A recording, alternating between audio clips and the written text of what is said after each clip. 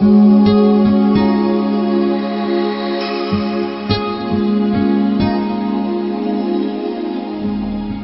graça de nosso Senhor Jesus Cristo, o amor do Pai e a comunhão do Espírito Santo esteja com você, meu irmão, minha irmã.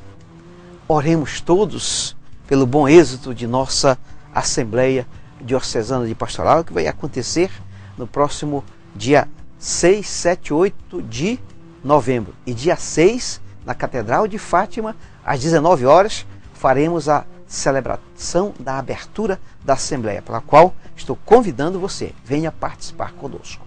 Oremos.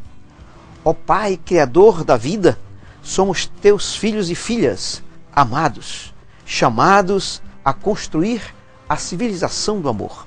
Sobre a força de teu Espírito, peregrinamos neste mundo, nos esforçando para cumprir o teu pedido, ide e evangelizai. Rogamos a tua bênção para a nossa vigésima Assembleia Diocesana de Pastoral.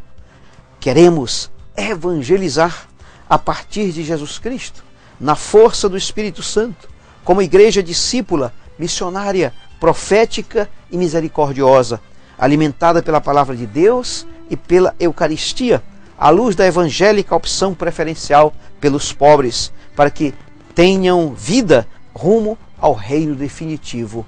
Amém. Aniversariantes. Parabéns para você que aniversaria neste domingo, dia 1 de novembro.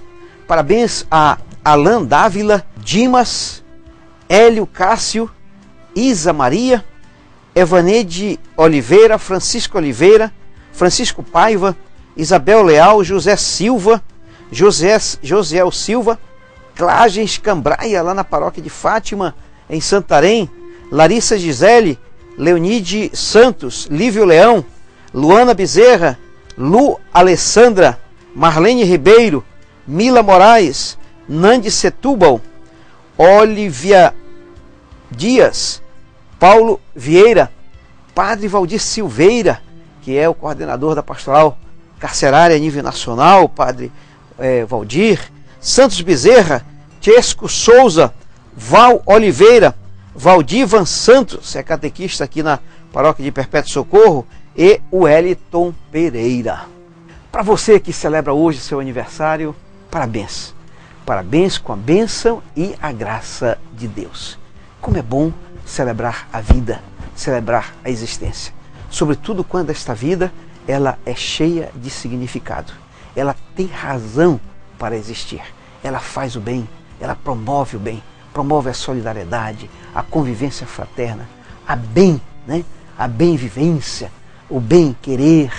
Como é importante viver assim. Então agradeça a Deus. Aproveite para celebrar a Eucaristia, rezar, agradecer ao Pai pela sua vida, pela sua existência. E receba com muita humildade né, os cumprimentos, os parabéns daqueles que certamente recordarão de você, como nós aqui estamos recordando e dizendo parabéns pela sua vida.